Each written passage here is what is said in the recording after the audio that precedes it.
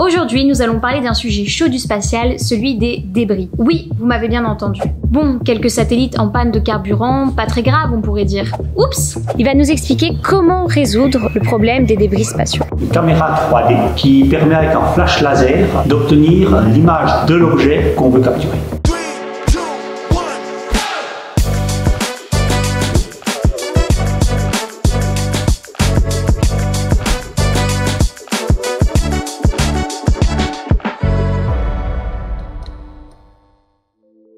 Des débris, il y en a sur Terre, mais maintenant il y en a également dans l'espace, et cela pose un gros problème, vous allez voir pourquoi. L'exploration spatiale a commencé en 1957, lorsque l'Union soviétique a lancé pour la première fois en orbite basse un satellite du nom de Sputnik. Depuis, nous avons envoyé des milliers de satellites dans l'espace à des fins scientifiques, commerciales ou encore militaires. Cependant, personne n'a vraiment réfléchi à ce que ces satellites allaient devenir une fois en fin de vie. Et c'est là la définition d'un débris spatial. Un objet en orbite autour de la Terre qui n'est pas ou plus utilisé. Bon, quelques satellites en panne de carburant, pas très grave on pourrait dire. Et pourtant, en 2009, un satellite Iridium rentre en collision avec un débris spatial russe du nom de Cosmos. Oups si on prend en compte quelques pays qui s'amusent à shooter depuis leur sol des satellites dans l'espace juste pour voir si on y arrive, eh bien on arrive à une situation où on compte plus de 20 000 débris en orbite contre 7500 satellites actifs menacés de collision. Et ce n'est pas prêt de s'arranger, la création de débris spatiaux n'est pas un processus linéaire mais exponentiel. On parle du syndrome de Kessler. On atteindrait un seuil de nombre et de volume de débris spatiaux tel que les satellites seraient fréquemment heurtés par des débris, créant de la même manière plus de débris et plus de probabilité d'impact d'où cette croissance exponentielle. Vous l'aurez compris, on parle de mission vers la Lune, vers Mars, mais si on continue comme ça, plus personne n'aura accès à l'espace. Tout récemment d'ailleurs, les astronautes à bord de la Station spatiale internationale ont dû activer une procédure d'urgence suite à un tir antimissile russe qui a menacé de rentrer en collision avec la station. Heureusement, en Suisse, on essaie de trouver des solutions et on va d'ailleurs aller rencontrer une de ces solutions dès maintenant.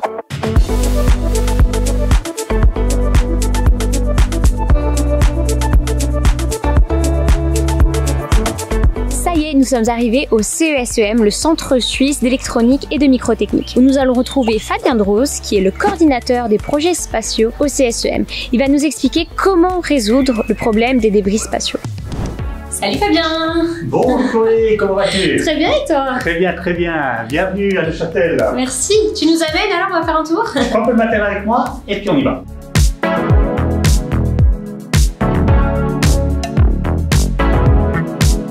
Une des solutions envisagées, c'est de retirer les satellites, les débris qui sont en orbite, en les désorbitant. C'est-à-dire qu'il faut aller avec un deuxième satellite, les saisir et les redescendre dans l'atmosphère qui soient détruits. La mission remove débris envisageait deux méthodes pour capturer le débris, qui euh, ou avec un filet ou avec un harpon. Pour Remove Débris, on a développé un LIDAR, une caméra 3D, qui permet avec un flash laser d'obtenir l'image tridimensionnelle 10 fois par seconde de l'objet qu'on veut capturer. Remove Débris a été un succès, on a des images qui ont été prises avec cette caméra. Maintenant, c'était qu'un démonstrateur et puis il va y avoir la mission Alios pour faire l'équivalent, mais sur un réel débris. Ok, donc tout ce développement technologique et technique pour une potentielle mission qui pourrait être un potentiel succès, peut-être que cette technologie aurait d'autres applications? Demandons à Christophe. Ce système peut être utilisé pour d'autres applications où une imagerie en trois dimensions et en temps réel est nécessaire. Par exemple,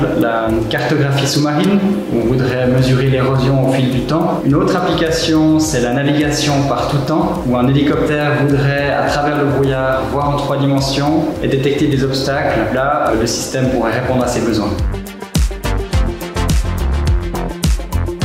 Vous l'aurez compris, nous n'allons pas résoudre le problème des débris spatiaux en un claquement de doigts, mais au moins ici en Suisse, on essaie vraiment de faire une différence. J'espère que cette vidéo vous aura plu. N'hésitez pas à mettre un petit like, abonnez-vous à ma chaîne et suivez les technologies spatiales au SESM sur ce lien.